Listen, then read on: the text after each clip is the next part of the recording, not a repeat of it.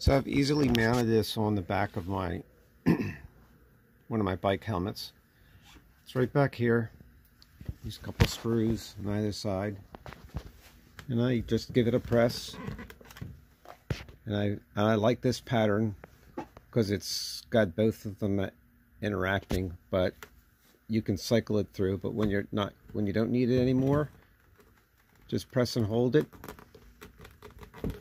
and it'll shut down without going into another pattern. When you turn it back on, it'll return to the last pattern that was on. This thing is bright.